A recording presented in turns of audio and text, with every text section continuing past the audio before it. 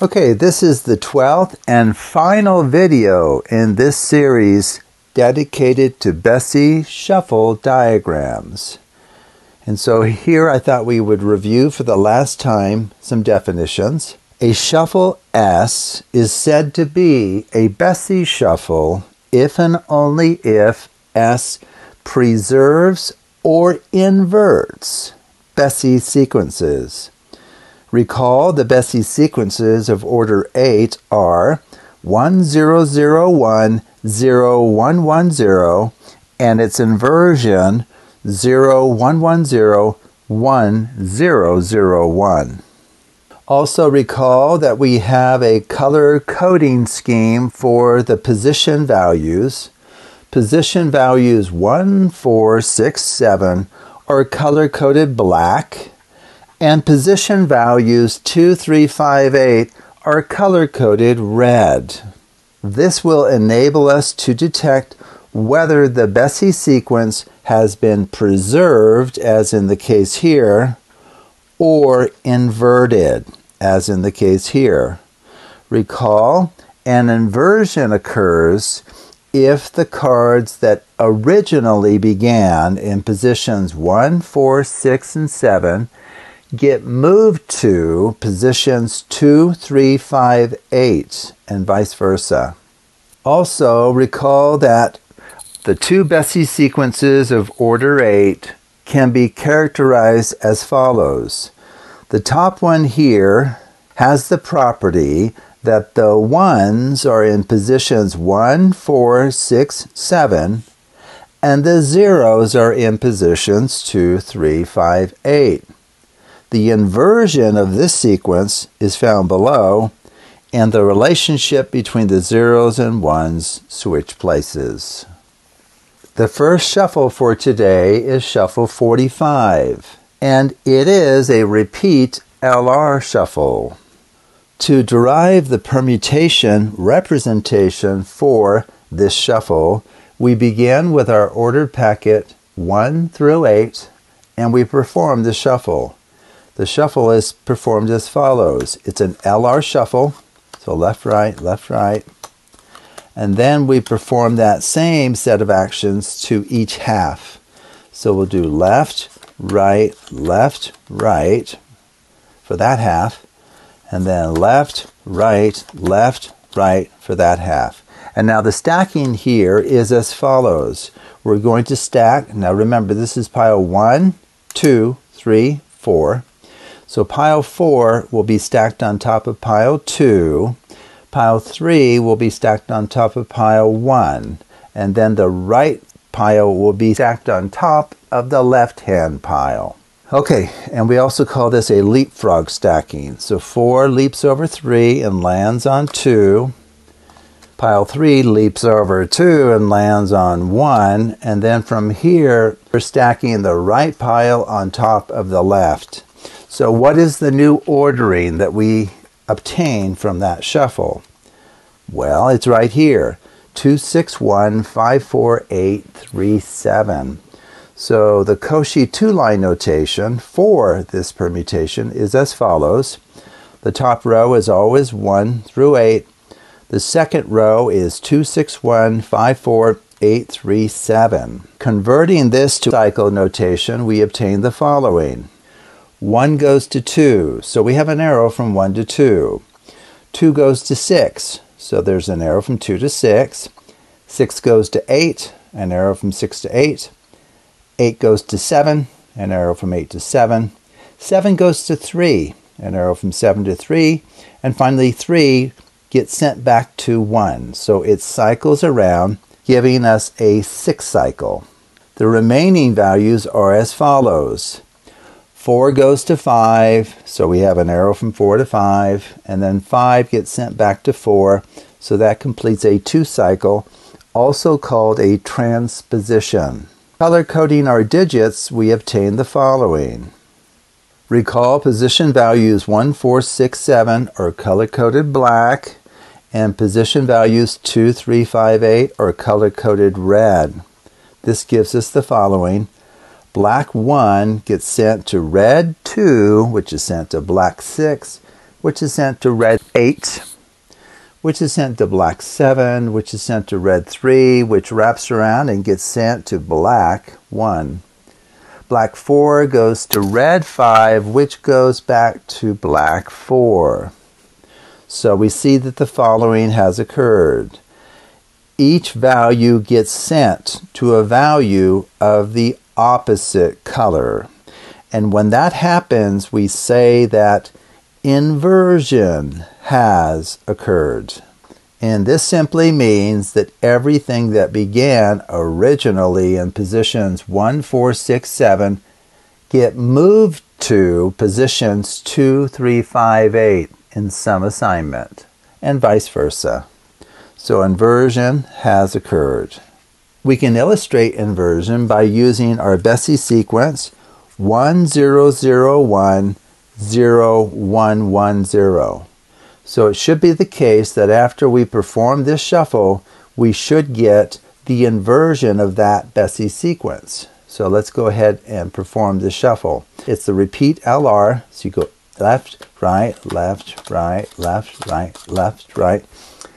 Perform those same actions for each half. Left, right, left, right left, right, left, right. Now we're going to stack the fourth pile on top of the second, the third pile on top of the first, and then we're going to stack the right pile on top of the left. And so we now should have the Bessey sequence 0, 1, 1, 0, 1, 0, 0, 1, which we do. Taking a look at the shuffle diagram, the top row on the left, we see that the following diagram represents this permutation. We see the sixth cycle, 1, 2, 6, 8, 7, 3. So it should be the case that if we begin at 1, there should be an arrow from 1 to 2, which there is, from 2 down to 6, there's an arrow, and there should be an arrow from 6 up to 8, and an arrow from 8 to 7, and an arrow from 7 to 3, and then we should have an arrow from 3 back up to 1, and we do. And that completes this sixth cycle. We also say that these six values constitute an orbit. For values 4 and 5, since they constitute a transposition, we would expect to see a double arrow between those two values, and we do. Those two values constitute their own smaller orbit. Shuffle 46 is next. It is also a repeat LR. So to derive the permutation representation of this shuffle, we begin with our ordered packet 1 through 8 and we perform the shuffle. So since this is a repeat LR, we begin the same way as we would for any repeat LR. We simply deal the cards into a left and right pile now we pick up each half and deal those into a left and right pile. Okay, so this is called a repeat LR. Now the stacking is as follows. Uh, this is, of course, pile 1, 2, 3, 4. So the stacking is pile 4 goes on top of pile 2, pile 3 goes on top of pile 1, and then we'll stack the left pile on top of the right. So let's go ahead and do that. So pile 4 leaps over pile 3 and gets stacked on top of pile 2. Pile 3 leaps over pile 2 and gets stacked on top of pile 1. And then the left pile is stacked on top of the right pile. So what is the new ordering of the cards after that shuffle has been completed? Well, it's as follows. 483 72615. Cauchy's two-line notation for this permutation is as follows. The top row is always 1 through 8 for what we are doing. And the bottom row is 4, 8, 3, 7, 2, 6, 1, 5. Converting this to cycle notation, we obtain the following. 1 goes to 4, so there's an arrow from 1 to 4. 4 goes to 7, so there's an arrow from 4 to 7. 7 gets sent back to 1, so that completes this three cycle here. What about 2? What happens to 2? 2 gets sent to 8, so we have an arrow from 2 to 8. 8 goes to 5, so we have an arrow from 8 to 5. And 5 gets sent back to 2, which completes that 3 cycle. And then we see that we have a fixed point at 3. 3 gets sent to 3. So that means whatever begins in position 3 will end up in position 3 after the shuffle is complete. And also 6 is a fixed point. 6 gets sent to 6. So whatever begins in position 6 will be returned to position 6. Color coding our digits, we obtain the following. Recall that the color coding of our digits is as follows.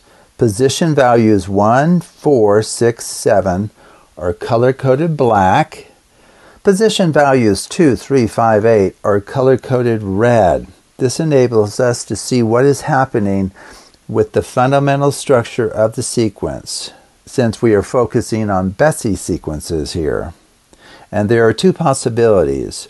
The Bessey sequence will be preserved in its current form, or it will be inverted. And inversion just means whatever cards began in positions 1, 4, 6, 7 get moved to positions 2, 3, 5, 8 once the shuffle is complete, and vice versa. The cards originally in positions 2, 3, 5, 8 get moved somewhere to, to positions 1, 4, 6, 7. So we see here that black 1 goes to black 4, which goes to black 7, which wraps around to black 1. Red 2 goes to red 8, which goes to red 5, which wraps around to red 2. Red 3 goes to itself. Black 6 goes to itself. So we can see that each value gets sent to a value of the same color. And so here we would say inversion does not occur. The Bessey sequence form will be preserved. And we can see that by using a Bessey sequence to demonstrate this. So let's begin with the Bessey sequence 1001 0110 and perform this shuffle. So this is a repeat LR. So you just do left, right, left, right. And then you perform that same set of actions on each half.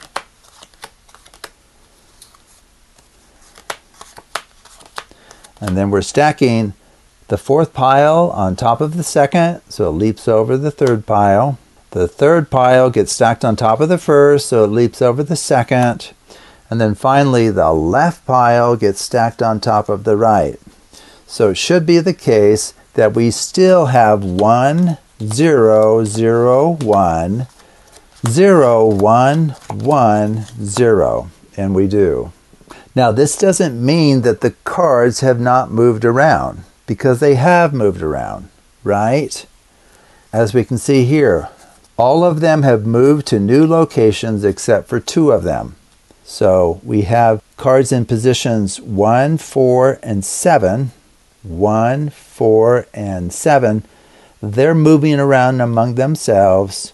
Similarly, for cards in position 2, 5, and 8, they're moving around among themselves according to these assignments here. Now, the card in position 3, this one right here, which happens to be a 0, that will be returned to its original location once this shuffle is complete. The same thing is true for the card in position 6, which is right here, that 1. After all of that mixing is done, that precise card will be returned to where it started, namely position 6. Taking a look at the shuffle diagram for shuffle 46, we see the following is true. We have our two fixed points, 3 and 6, so they don't go anywhere. And then we have our first three cycle. It's 1, 4, 7. So if we start at 1, we should expect an arrow from 1 to 4, which we have. An arrow from 4 up to 7. It's right there. And then we should have an arrow from 7 to 1. And that completes that three cycle. And we say that those three values, 1, 4, 7, constitute an orbit because they just cycle around among themselves. The second three cycle is 285. So if we begin at 2, we should expect to find an arrow from 2 to 8, which we do, an arrow from 8 down to 5, and then an arrow from 5 back up to 2. And that completes our second three cycle. And those three values, 258, constitute their own orbit. And I should point out that 3 constitutes its own orbit, it's a singleton set, and 6 does as well, since they are just assigned to themselves. They don't go anywhere. Now there is a note down here that shuffle 46 is the inverse of shuffle 1. Shuffle 1 is from the very beginning of this series. So let's remind you of shuffle 1. This is simply the LR shuffle on which we stack the left pile on top of the right. So this shuffle here is actually the inverse of shuffle 46. They will undo each other. And if you look at the actions for each of these shuffles, it is not at all clear that they should undo the effects of the other. So why don't we go ahead and just demonstrate that they are indeed inverses. At least we'll demonstrate one direction. So because shuffle 1 and shuffle 46 are inverses, if we perform them in either order, it should return this packet to its original order. So why don't we go ahead, we'll perform shuffle one first. So this is just an ordinary left-right shuffle on which we're stacking the left pile on top of the right. And we can even see the um, new ordering of the cards. It's a bit of a mess. Now apparently shuffle 46 is going to undo this mess and give us 1 through 8 back. Okay, so shuffle 46 once again is the one that we just did a moment ago. This is a repeat LR. So you do a left right and now you perform the left right shuffle on each half like that and like this. And then the stacking for shuffle 46 is as follows. We stack the fourth pile on top of the second, the third pile on top of the first, and then we stack the left pile on top of the right. So apparently we should get back to the exact original ordering of cards, and we do. And it will also be the case if you perform shuffle 46 first, followed by shuffle 1, you'll get this same outcome. So those are truly inverses of one another.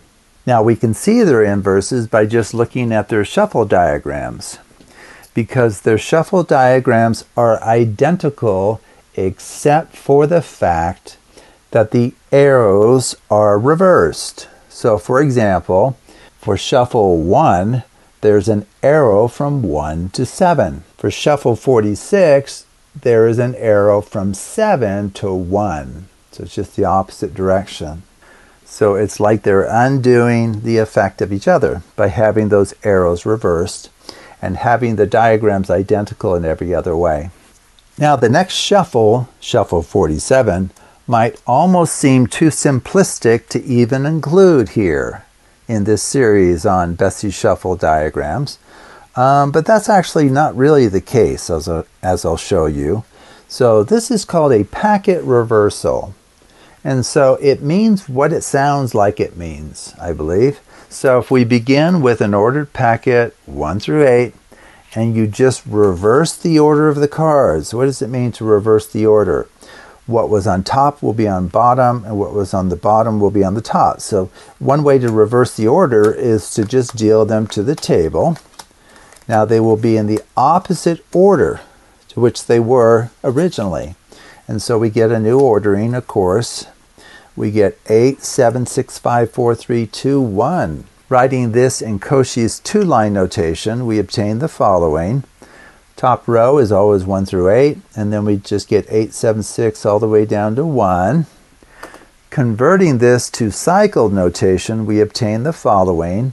1 goes to 8, so we have an arrow from 1 to 8, and then 8 goes to 1, so it cycles back around, giving us a, quote, 2 cycle, also called a transposition. 2, where does 2 go? 2 gets sent to 7, so we have an arrow from 2 to 7, and then 7 gets sent back to 2, so we have a second 2 cycle. 3, 3 goes to 6, so we have an arrow from 3 to 6, and then 6 gets sent back to 3, completing that cycle. So we get a, another transposition or 2 cycle. 4 goes to 5, so we have an arrow from 4 to 5, and then 5 goes back to 4, completing a fourth 2 cycle, or a, in other words, a fourth transposition. Color coding the digits, we obtain the following. Recall that the color coding of our position values is as follows. Positions 1, 4, 6, 7 are color coded black. Position values 2, 3, 5, 8 are color coded red. This will enable us to detect what has happened with the Bessey sequence structure of the packet. And as a quick reminder here, if the Bessey sequence form is preserved, then this will occur, namely, whatever begins in positions 1, 4, 6, 7 after the shuffle is complete will still be somewhere in positions 1, 4, 6, 7. And whatever began in positions 2, 3, 5, 8 will stay in those positions somewhere. Now, they may be moved around within those positions, but they won't jump over into set A. Now, that's different from the inversion, which is being represented here. The inversion occurs if cards originally in positions 1, 4, 6, 7 get moved to positions 2, 3, 5, 8 in some assignment, and vice versa. Cards that originally began in positions 2, 3, 5, 8 get moved to positions 1, 4, 6, 7 in some assignment. So we see here that black 1 goes to red 8, which cycles around to black 1. Red 2 goes to black 7, which goes back to red 2. Red 3 gets sent to black 6, which gets sent to red 3. And then black 4 gets sent to red 5, which gets sent back to black 4. So we see that the following has occurred. Each value gets sent to a value of the opposite color. And when that happens, inversion has occurred. So everything that began in positions 1, 4, 6, 7 get moved to positions 2, 3, 5, 8. And we can illustrate that using a Bessey sequence consisting of zeros and ones. So if we begin with this particular Bessey sequence here and reverse the order of the cards,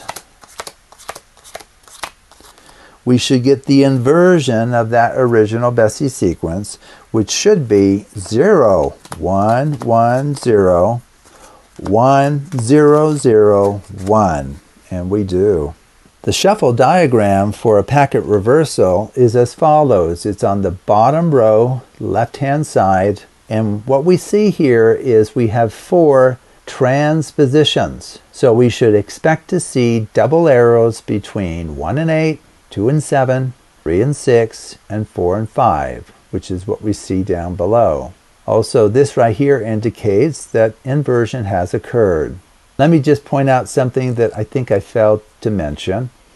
Going back to shuffle 45, because of this six cycle and that we have a two cycle here, this particular shuffle has order six, which means you would need to perform this shuffle six times to return the packet to its original order, whereas shuffle 46 has order 3. Performing this shuffle three times will reset the packet, and then the current one, shuffle 47, this has order 2. Performing this just twice will reset the packet back to its original order. And if you think about it, that should be pretty obvious given what packet reversal does to a packet of cards. There is a mention down below that packet reversal is identical to shuffle 22 that we saw earlier in the series. So let's go ahead and take a look at shuffle 22 to remind you of that. In fact, doing this little review will enable us to talk about packet reversals in a larger context that is quite powerful. So shuffle 22 was the pairwise transpose in which we stack from right to left. Okay, so why don't we go ahead and illustrate this? And so this gives you the exact same permutation. You can see that. We get four transpositions, 1, 8, 2, 7, 3, 6, 4, 5. And that's what we get down here with the packet reversal, 1, 8, 2, 7, 3, 6, 4, 5. And of course, the shuffle diagrams are identical. So let me just perform the pairwise transpose to remind you of how that works. So the pairwise transpose is where you deal one, two, you deal out two cards into each pile as you move from left to right, and you do one, two, one, two, one, two. Okay? Now, if we stack from right to left, that is simply a packet reversal. So let me just show you that that's the case. And then we'll kind of talk about a larger concepts here for just a moment. So we should get 8 through 1. So the top card now is 8 all the way down to 1. So this is precisely a packet reversal. Okay, now this relates to a larger principle, which I call the first shall be last and the last shall be first. Okay, so how this works is if you begin with a ordered packet so that you can see what's going on, what this shuffle allows you to do, and the pairwise transpose is just a special case of it, this is where, if you've seen it before, you're allowed to deal out the cards into piles, and then when the spectator says stop, you deal into another pile, and then they say stop, and then you deal into the, another pile until you run out of cards. So here, let's say I'm dealing cards, and I say, tell me when to stop. And they say, stop right there. And then I start dealing again, again and they say, stop. Very good. And then I deal one, and maybe they even say, stop there. That's fine. And then I deal out the last two. Now, as long as you stack from right to left, all of this is equivalent to a packet reversal. That's all it is. So we will get that same 8 through 1, 8 on top, all the way down to 1 on the bottom. Now, to convince yourself of that, just perform that shuffle a few times and you'll see, oh, that's all it's doing. Because if you think about it, just follow, why don't we follow the cards face up? That's probably a good idea. Okay, so we'll have them face up just so we can see them. So if I begin dealing, like right here, and the spectator says, stop. Okay, I stop there, and then maybe I deal here, and then they say stop, and then I just deal out one, and they say stop, and then I deal out the last two. Can you see that if we stack from right to left, we're going to recreate that packet, but it will be precisely in reverse order.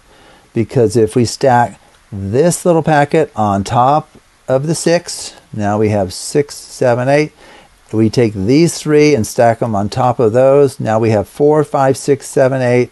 And if we take all of these and stack them on top of the um, three, two, one, or the one, two, three, depending on how you want to read it, like that, then you can see that what we'll have is we'll have, remember, we had one, two, three, four, five, six, seven, eight. Now we have eight, seven, six, five, four, three, two, one. Okay, so it just reversed the order of the cards. So this shuffle that I call the first shall be last and the last shall be first is a really powerful shuffle. And the name justifies the actions. Because the idea is if I deal out, this is the first card dealt. The first shall be last, the last shall be first. Okay, what is the last card dealt? What's this one way over here? And the first one's down there. So the first shall be last, and the last shall be first. So you're just stacking from right to left. Okay, so that's all that shuffle means. And the name of the shuffle is meant to help justify the mechanics of the shuffle itself. Okay, so I thought I would relate that to something that you may have seen already on this channel. Our final shuffle for today, I refer to it as a non example. So, what do you think that means? A non example? Well, everything that we've been showing you in this series are Bessey shuffles. Why are they Bessey shuffles? It's because they preserve or invert Bessey sequences. That's the definition of a Bessey shuffle. I thought it important that I point out that not every systematic shuffling procedure used for small packet sizes are necessarily Bessey shuffles. Many, many of them are, but not all of them. And so here's an example of one that's not quite a Bessey shuffle. It actually doesn't miss it by much, but technically it doesn't preserve or invert Bessey sequences. It's called the Australian under down. Now, if you remember the Australian down under, we've shown you before, and it is a Bessey sequence. That's where you have a packet of cards like this, and you put them down, and then the next one goes under, down, under, down, under, down, and so forth until all the cards have been moved. Now, the Australian under down is almost the same, except instead of setting that first card down on the table, you place it under the other cards, and then the second card goes to the table.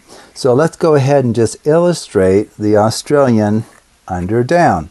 So we begin with our ordered packet, as always. And so this is where you go under, down, under, down, under, down, under, down, under, down, under, down, under, down, Last one goes on top. Now, just to give a presentational insight, for the under down deal, it's often couched in terms of she loves me, and you put the card underneath, she loves me not for the next one. That goes down to the table. She loves me, that card goes under and you keep it. The next one, she loves me not, goes to the table. So you, you can use this she loves me, she loves me not narrative for, for the Australian under down. So let's take a look at the new ordering of the cards and see what goes wrong. So here is the new ordering. It's 15738642. So in Cauchy's two-line notation, we obtain the following. The top row is always 1 through 8, and now we get 1573842.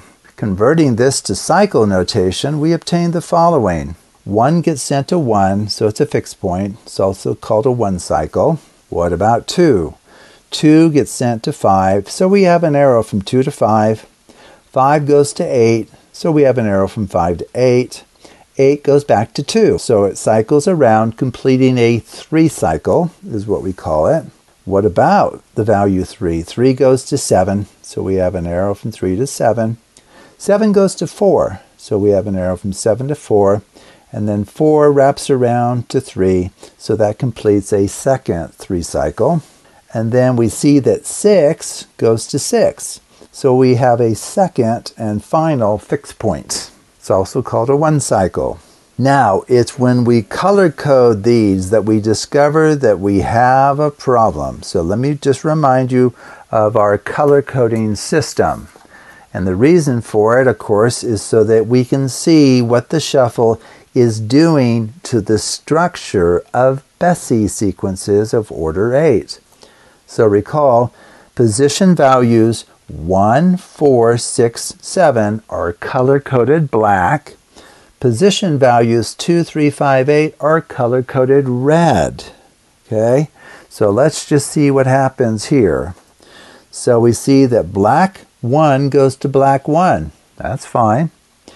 Uh, red 2 goes to 5, which goes to red 8, which wraps around to red 2. Now, so far, given just that much information, we're not in trouble. Um, it looks like if it's going to work out at all, it looks like this shuffle will preserve Bessey sequences, meaning the cards that originally began in positions 1, 4, 6, 7 stay somewhere within those positions, and cards that originally began in positions 2, 3, 5, 8 stay within those positions. So, so far we're fine. When we go on to the second three cycle that things fall apart. So let's take a look at this. we see that red 3 goes to black 7.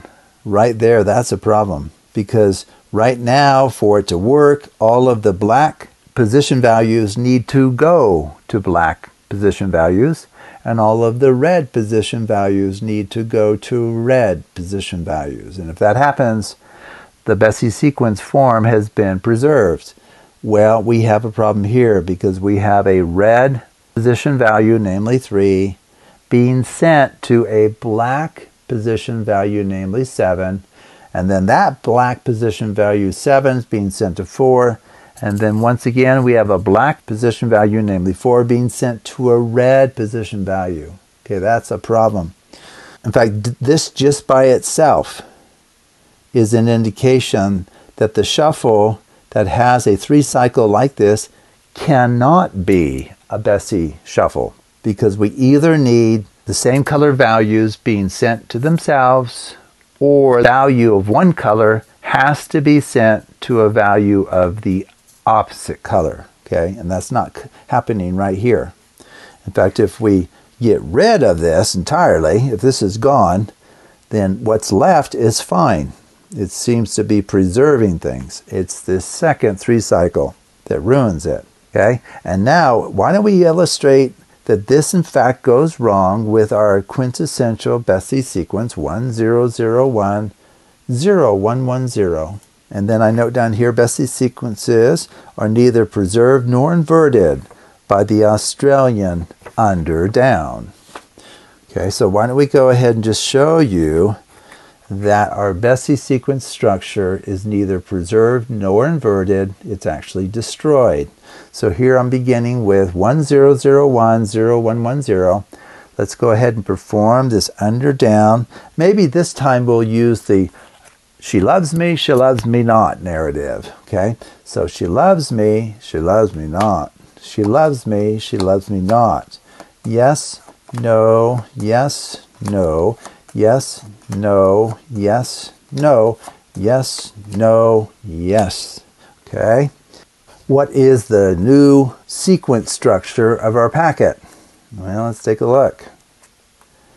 Oh, we haven't seen this before. Why is that?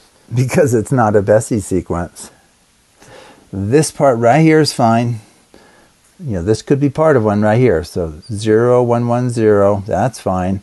And then we would need to have, for this to complete a Bessey sequence, we would need to have a 1, 0, 0 here and a 1 there. So if these two right here, if these two cards were to just switch places, it works just fine. That would actually now be a Bessey sequence if these two were to switch. So we're kind of just barely missing it by a single transposition of two cards. Two neighboring cards just need to be switched for this shuffle to preserve Bessey sequences. Uh, but since it doesn't, we can see that indeed our Bessey sequence structure has been destroyed. Okay, so that's why I call it a non-example. It's a sequence that doesn't quite work. Now, what's interesting is in some ways it almost works. it's not that far off.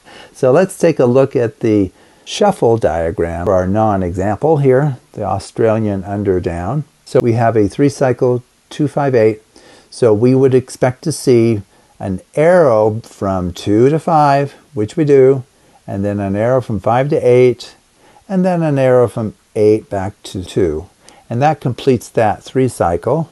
And notice that all of those vertices, 258, are color-coded red. So that's a little three cycle. Those three values also constitute an orbit. And in some ways, they're not harming the preservation of a Bessey sequence. It's when we get to the second three cycle. So we see that 3 goes to 7, which goes to 4, which wraps around to 3. So if we start at 3, we should see an arrow from 3, 7, but unfortunately, it's red 3 to black 7, and then we have an arrow from black 7 to black 4, and then an arrow from black 4 to red 3. Okay? So that is not going to preserve 1001 0110 or its inversion 0110 1001. Both of those will be destroyed by this Australian under down. Okay, so let's go ahead and show you a final application for this series on Bessey shuffle diagrams. Now, the last application I gave you was quite advanced. Um, so I thought we would bring it down a few notches so that we don't lose uh, too many people. So let me just show you a, a, really fun application. And what I thought we would do too is, since we're at the end of this series, uh, we can draw from any of the shuffles, any of the shuffles, except of course this non-example here, uh, any of the previous shuffles, 1 through 47, um, to mix the packet and then finish in the way that we would like to, okay? So what we need here is we just need, okay, and, and there's a lot of ways to kind of set this up. So uh, we need uh, four red and four black. So let me just kind of put out, uh, we need uh, four of each. Okay, that's good. Maybe I'll get a face card. That might be kind of fun to do. Another face card, I suppose. Okay, that's great. So we have uh, four red and four black. Okay, so let's just gather those up. Now you may have noted a special structure there if you've been following the series. Hopefully you did. Uh, but we're going to now do something kind of fun here. Uh, well, we can mix the packet first. Why don't we go ahead and mix it? We can use the ones today to mix it, I guess. So why don't we do a shuffle 45? Good review here. Shuffle 45. So we're doing a repeat LR. Okay, and then you move that over. Shuffle 45. Very good.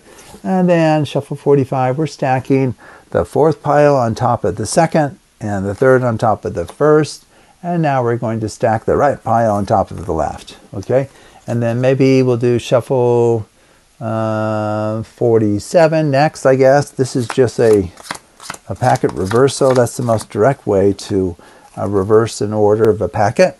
You could also use this first shall be last, last shall be first presentation of a packet reversal. Um, and then why don't we do, we'll do 46 next, okay? The only that's the remaining one since we only have three new Bessey shuffles today. Okay, and then we'll do a left right on each of these. Very good. Left right. And then shuffle 46 is uh, 4 gets stacked on top of 2, 3 on top of 1. But now we're stacking the left on top of the right. Okay. Now I do want to point out that you could perform any of the 47 shuffles that we have taught you in this series to the packet right now. And you could have the spectator choose any of those in any quantity and in any order, okay?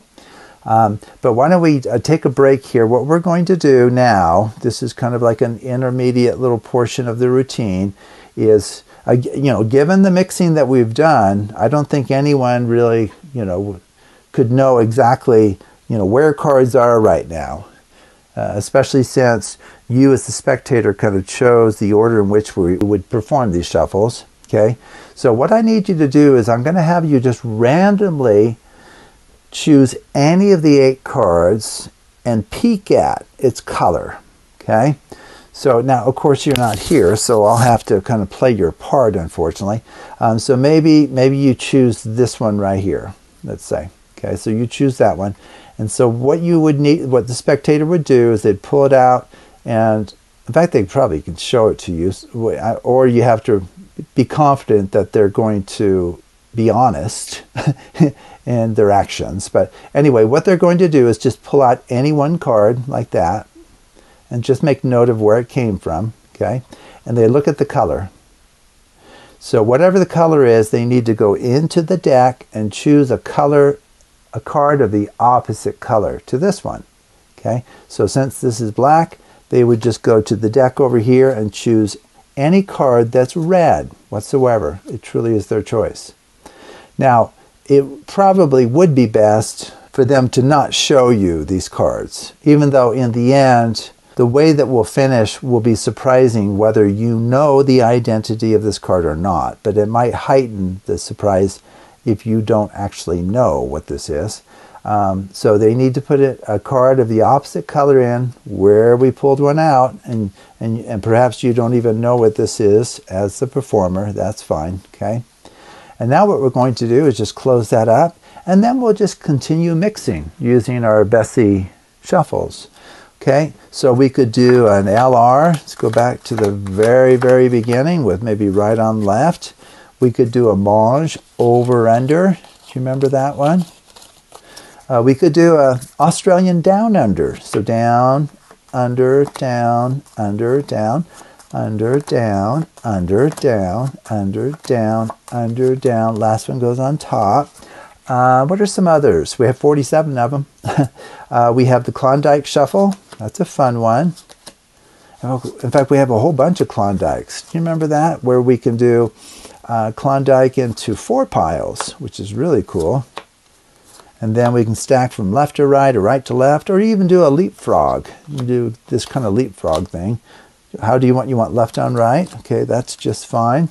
Uh, we could do a even up jog. You remember that, where you pu push forward the even position cards and strip those out, and then like randomly stack those, maybe right on left. That would be just fine.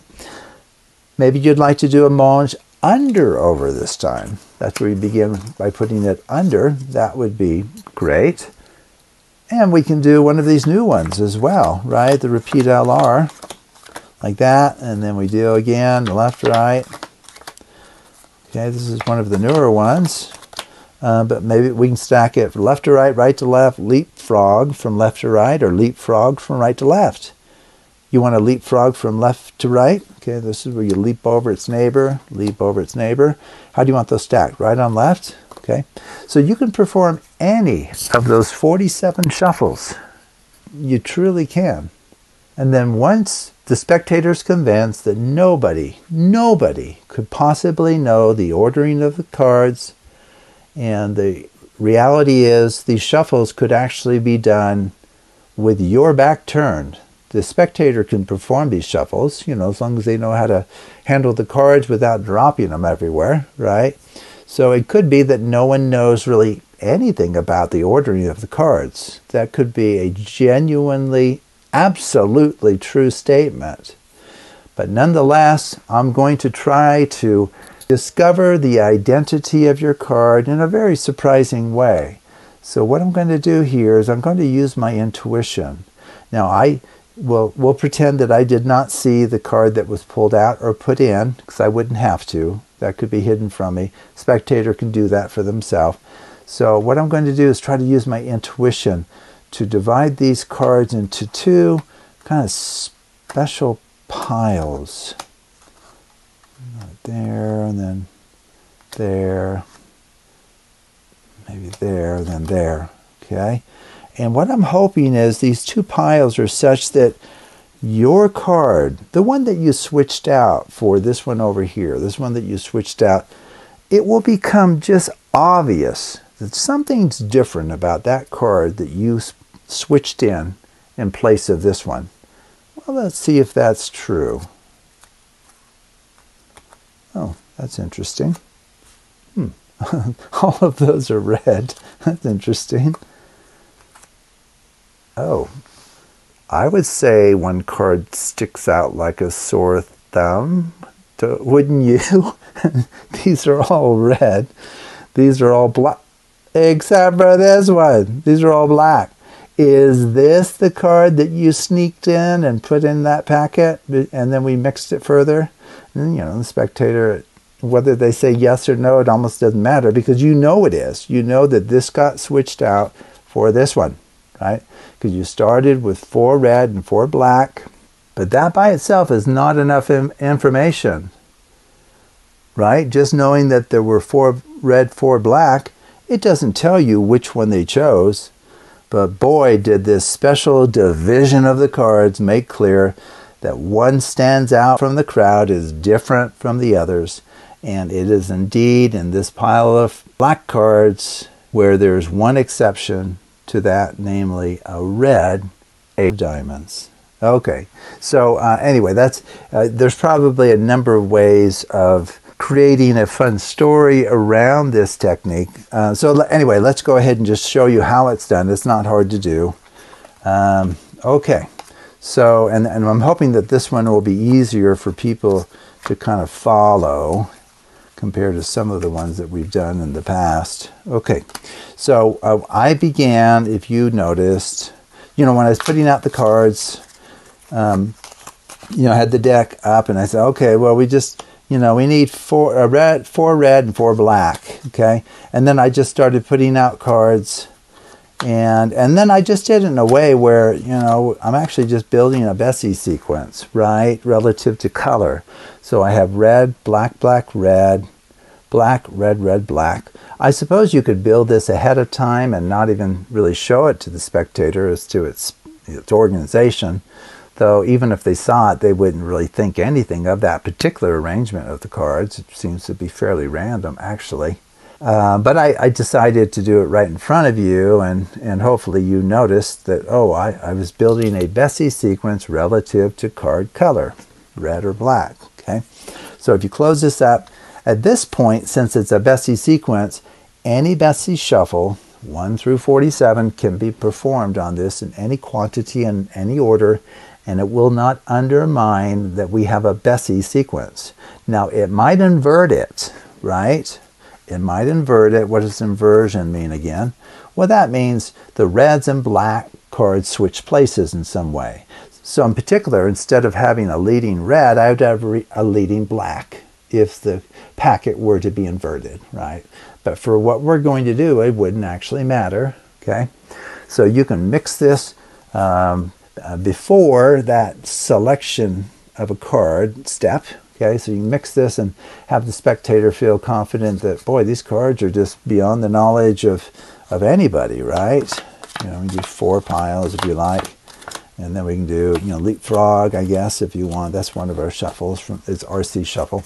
Okay, and then once you've mixed it, just to kind of allay any suspicions, especially if you just bring out the packet and you don't really show it to them, it'd be good to mix it before you go on to the selection stage. And then you just fan out the cards and give them the instructions. Um, and so you're placing a little bit of trust that they'll be honest, but have them randomly pull out a card. Maybe they pull out this one right here. Okay.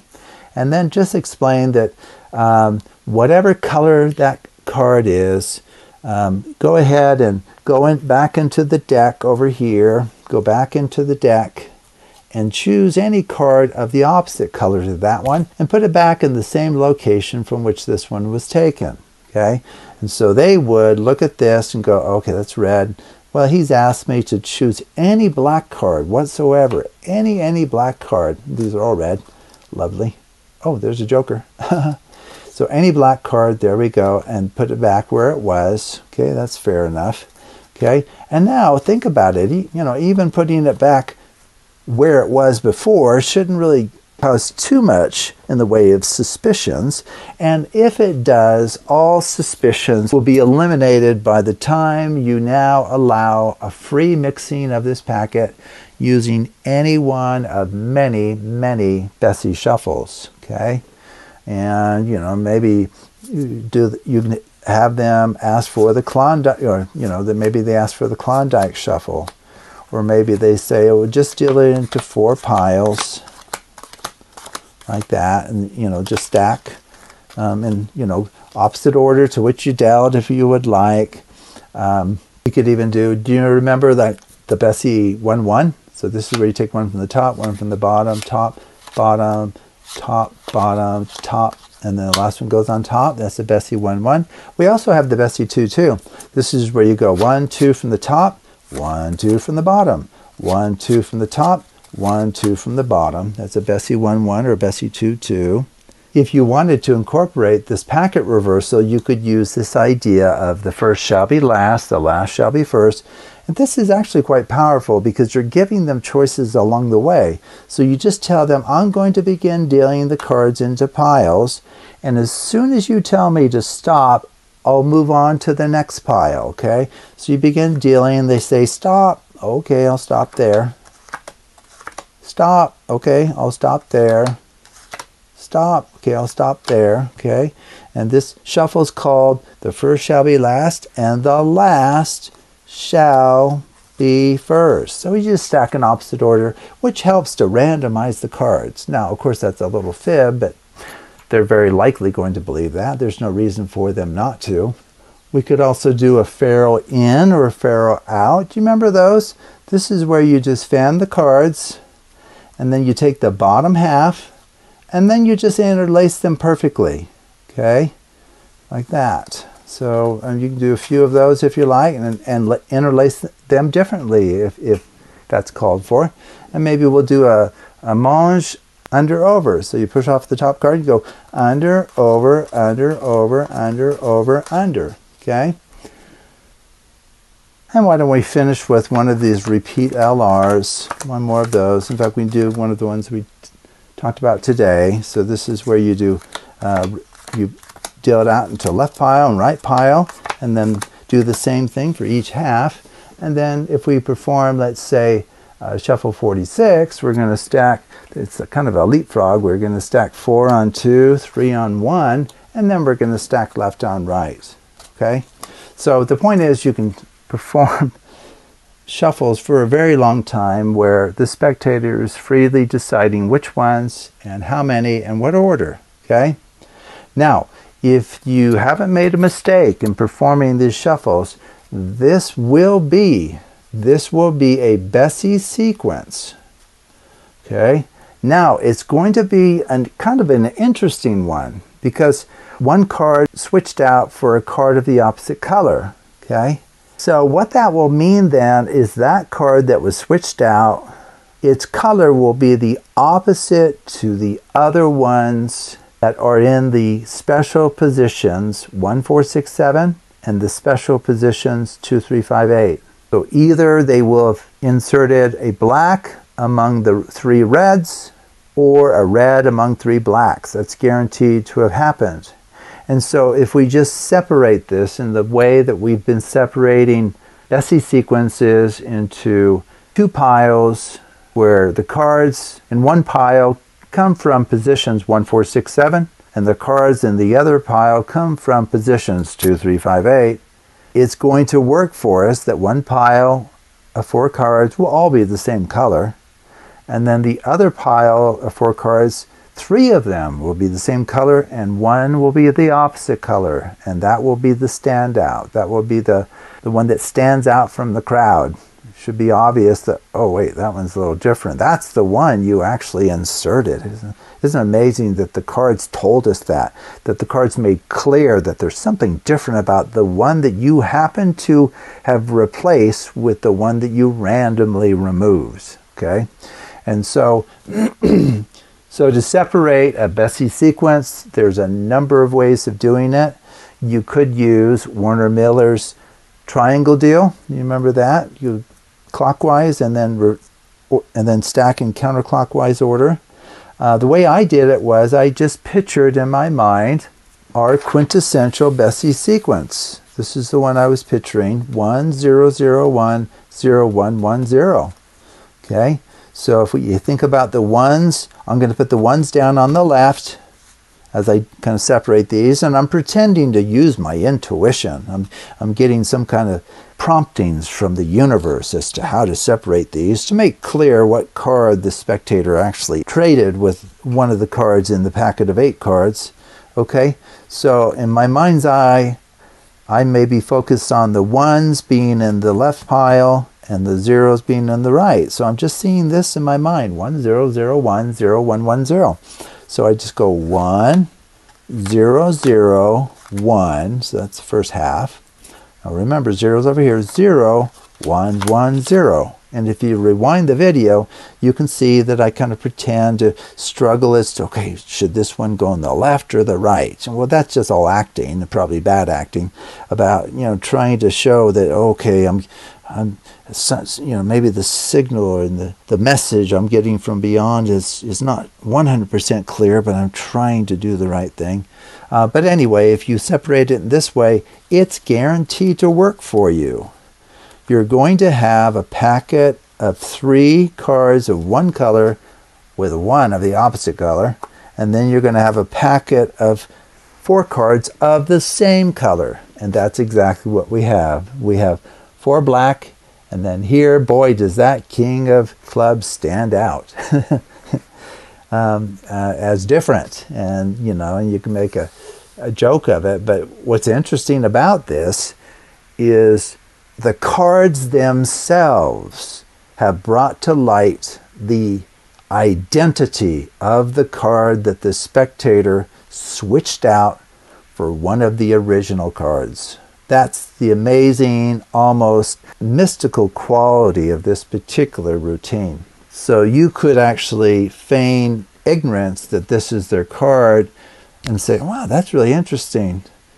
Uh, these are all the same. There's kind of a, a sameness to those, but I, I think the cards are trying to tell me something. In fact, they're almost yelling at me something about the identity of the card that you traded into the packet with one that you removed.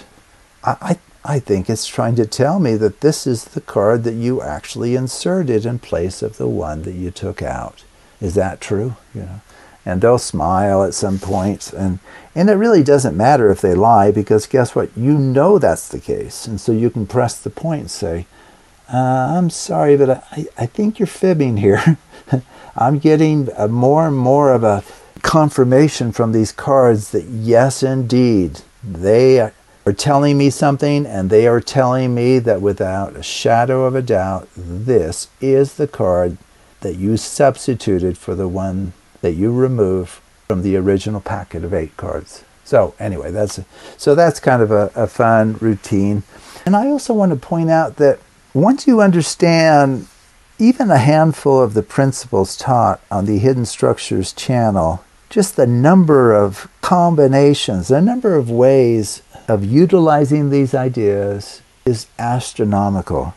And if you give it just a little bit of thought and let your mind kind of wander and just let your creativity kind of kick in, you can think of like this routine right here. I thought about it minutes, minutes, like two or three minutes before filming. I didn't have a application in mind and then I thought, oh, I probably should think about what what would be good to present. And it didn't really take very long to think, oh, okay, yeah, yeah, yeah, this would work. Let's do this switching out a red for a black and a black for a red, and then it's going to come out in this obvious fashion that, boy, one of these is sticking out like a sore thumb, you know. Um, so, anyway, the, the point I'm trying to make is even knowing a handful of the hundreds, hundreds of principles I've taught on my channel, you can come up with some amazing, engaging, mind blowing mathematical card effects and as you learn more and more principles, the number of possible routines that can be constructed is almost countless. So, anyway, it's a fun playground where you can not only explore ideas, but develop your creativity for designing original, engaging, and sometimes seemingly impossible routines. So that's I hope for you you'll make use of the principles that you're learning because you're far more likely to remember them if you actually put them into practice and incorporate them in original ways that draw on your personality and your style and your background and your unique way of relating to others and your ability to pique the curiosity of your spectators to the point that they walk away is wondering how in the world is it possible to do what they have just now witnessed with their own eyes. So, thank you for watching, and I encourage you to take a look at other videos on the Hidden Structures channel. There's many, many series on particular ideas and principles, and there's many standalone effects and principles that are fun to master and incorporate and relate to other principles that you've already learned. And I think all of these p- principles are mind expanding and challenging, which I think makes them more rewarding because you come back better designer of engaging effects and narratives. So thank you again for watching. And if you haven't already, please subscribe to my channel It's a way of letting me know that you've enjoyed some of my content and would like me to continue creating more mathematical card presentations and tutorials in the future. So thank you again.